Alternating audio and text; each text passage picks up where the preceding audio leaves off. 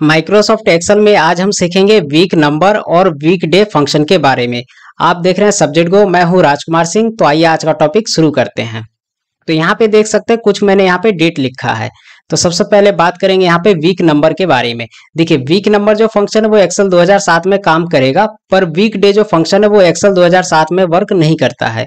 उसके लिए आपको एक्सेल 2013 या 21 या 22 नया वर्जन जो अपडेट हुआ है, वो यूज़ करना पड़ेगा। तो पहले सीखेंगे वीक नंबर फ़ंक्शन के बारे में। ये क्या करता है? इसके बारे में जानते हैं सबसे पहले। देखिए वीक नंबर फ़ंक्शन का जैसा नाम है, वैसा ही काम है। वीक यानी कि कौन से वीक ये वीक का बताएगा, जैसे मान लीजिए एक से लेके सात दिन होता है। अब मैं यहाँ पे टाइप कर देता हूँ। पहले देखिए, यहाँ पे मैं लिख रहा हूँ, जैसे कि संडे यहाँ पे मैंने संडे टाइप किया है और इसको मैं नीचे तक ड्रैग कर देता हूँ। तो Sunday Monday Tuesday Wednesday Thursday Friday Saturday अब ये संडे को क्या मान के चलेगा यहाँ पे? पहला दिन। संडे हो गया फ़र्स्ट उसके बाद यहाँ पे ये हो गया सेकंड इस तरह से यहाँ पे ये चलता है क्रम। तो अब यहाँ पे जानते हैं कि ये जो है क्रम वाइज हो गया, एक, दो, तीन। अब इसमें जो वीक का यानी कि हफ़्ते का पहला दिन होगा, वो संडे कहलाएगा। लेकिन जितने भी मंथ शुरू होते हैं, उसमें ज़रूरी नहीं कि वो संडे से ही शुरू हो। कोई मंथ जो होता है, वो मंडे से शुरू हो जाता है, यानी कि उसमें एक तारीख मंडे को पड़ जाता है, किसी में ट्यूसडे, किसी में वेनेसडे। इस तरह से अलग अलग हो जाता है। लेकिन जो बाय डिफ़ॉल्ट यहाँ पे तरीका होता है, वीक नंबर का, वो ये मान के चलता है कि महीने में जो दिन शुरू हो रहा है, वो संडे होगा और एक तारीख होगा। लेकिन ऐसा होता नहीं है। तो यहाँ पे चेक करेंगे, देखिए, जैसे मैं यहाँ पे कैलकुलेट कर रहा हूँ, यहाँ पे ये कैलकुलेट कर रहा है संडे मान के। ठीक है, यहाँ पे संडे मान के चलेगा और यहाँ पे कस्टम हम कैलकुलेट करेंगे। तो सबसे पहले संडे मान के चलते हैं। तो यहाँ पे ये कैलकुलेट कैसे करेगा, वो देखिए। सबसे पहले आपको वीक नंबर में ये बताता है कि जो भी आपने तारीख लिखा है, उस तारीख में जो आपने डेट दिया है, वो डेट पहले वीक में आ रहा है या सेकंड वीक में आ रहा है या कोई और वीक में आ रहा है? जैसे मान के चलिए, मैंने यहाँ पे डेट दिया है, एक तारीख, पहला महीना 2022 तो ये जो 2022 का वीक हुआ, वो कौन से वीक में ये डेट पड़ा? तो ये पड़ा हमें पहले वीक में, क्योंकि ये तो स्टार्टिंग डेट है, एक तारीख तो पहले वीक में आएगा, उसके बाद ये है नौ तारीख। तो ये कौन से वीक में आना चाहिए? दूसरे में। क्योंकि, देखिए, एक हफ़्ते में कितने दिन होते हैं? सात दिन। तो एक से लेके सात। सात यहाँ हो गया तो ये तो एक वीक के अंदर कहलाएगा। उसके बाद सात के बाद आठ, नौ, यहाँ से गिनती शुरू हो गया आठ, नौ से। तो अब ये हो गया सेकंड वीक लेकिन सेकंड की जगह यहाँ पे थर्ड बता रहा है। वो इसलिए बता रहा है, देखिए, क्योंकि यहाँ पे मैंने बताया कि ये संडे को मान के चल रहा है, लेकिन जो एक तारीख था, ये एक तारीख संडे में नहीं था, ये एक तारीख। एक तारीख के दिन दिन कौन सा था, वो यहाँ पे कंप्यूटर में जाएँगे और अपने कैलेंडर में चेक करेंगे, देखिए। मैं चले जाता हूँ यहाँ पे जनवरी में, जनवरी 2022 और चेक करते एक तारीख को क्या था? सैटरडे था, देखिए। एक तारीख को सैटरडे था।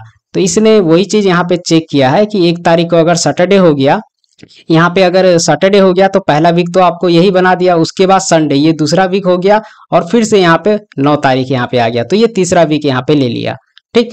तो ये जो है, इस तरह से काउंट करता है। तो अब हम यहाँ पे चेक करते हैं, कैसे इसको किया जाता है। देखिए, यहाँ पे आपको सिंपल लिखना होता है equal week number N U M देंगे आप टैब बटन दबा के फ़ंक्शन आपने लिया। सीरियल नंबर कह रहा है, इसमें आपको डेट सेलेक्ट कर देना है। उसके बाद यहाँ पे ब्रैकेट क्लोज करके और एंटर करना है और कुछ भी नहीं करना है।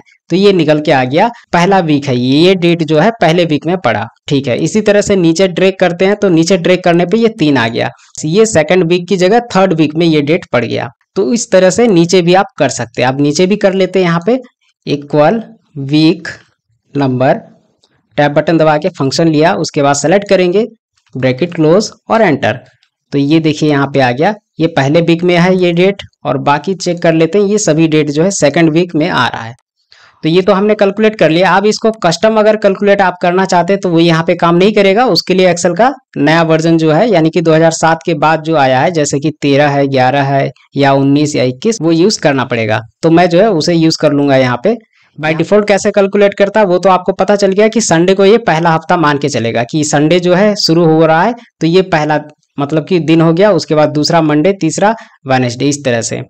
उसके बाद आप कस्टम कैलकुलेट करना है आपको। तो कस्टम में क्या करना होता है? देखिए कस्टम में भी उसी तरह से कैलकुलेट करते हैं। बस फ़र्क ये है कि यहाँ पे आप देंगे फ़ंक्शन वीक नंबर और वीक नंबर देने के बाद आपको क्या करना है? सीरियल नंबर में तो डेट सेलेक्ट कर देना है।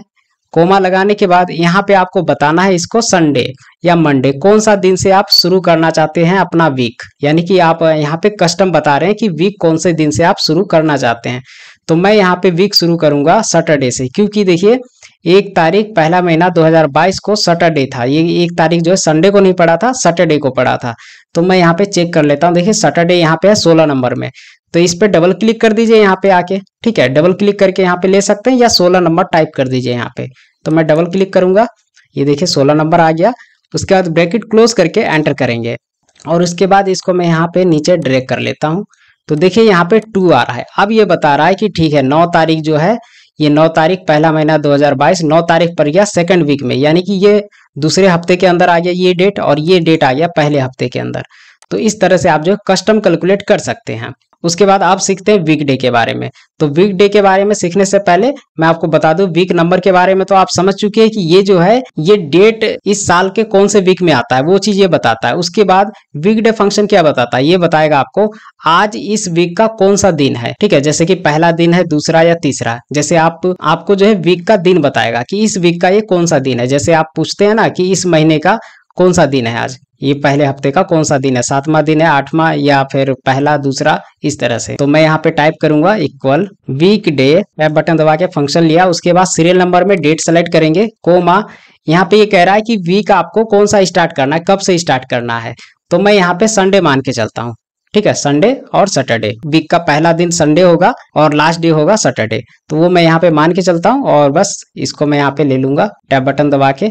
और ब्रैकेट क्लोज और एंटर। तो यहाँ पे ये आ गया सातवां दिन। अब ये सातवां क्यों बता रहा है? देखिए, जो संडे में चलता है, देखिए संडे में हो गया पहला तारीख तो आपका ये हो गया और ये सैटरडे को पड़ा था। एक तारीख, पहला महीना 2022 जो इस दिन सैटरडे था। तो कौन सा मतलब की दिन था ये? सातवा दिन था ये। ठीक है, वीक का सातवा दिन। तो ये यहाँ पे निकल के इस तरह से आ गया। इसको आप नीचे तक ड्रेक कर देंगे तो बाकी सभी का निकल के यहाँ पे आ जाएगा। तो इस तरह से आप जो एक्सेल के अंदर वीक नंबर और वीक डे फ़ंक्शन का यूज़ कर सकते हैं। इसको जब आप दो तीन बार रिवाइज करेंगे अपने आप तो उसके बाद आप जो है इसको समझ सकते हैं। और यहाँ पे देख सकते हैं, मैंने यहाँ पे लिखा भी है नोट्स में first week by default starting from Sunday ठीक है, पहला वीक जो है स्टार्ट होता है, वो संडे से स्टार्ट होता है, ठीक है? संडे से लेके सैटरडे तक पहला तो इस तरह से आप जो है एक्सेल के अंदर वीक नंबर और वीक डे फ़ंक्शन का यूज़ कर सकते हैं। एक्सेल से रिलेटेड और भी फ़ंक्शन के बारे में हम नेक्स्ट वीडियो में सीखेंगे। फ़िलहाल की इस वीडियो में इतना ही। इसी तरह की और भी वीडियो देखने और सीखने के लिए अगर अभी तक आपने सब्जेक्ट गो चैनल सब्सक्राइब नहीं किया है तो वीडियो के नीचे दिए सब्सक्राइब बटन को दबा के सब्जेक्ट गो चैनल सब्सक्राइब कर लीजिए और उसके साइड में दिए बेल आइकन भी प्रेस कर दीजिए। और इस वीडियो को लाइक शेयर और कमेंट कीजिए और देखते रहिए सब्जेक्ट को और सीखते रहिए।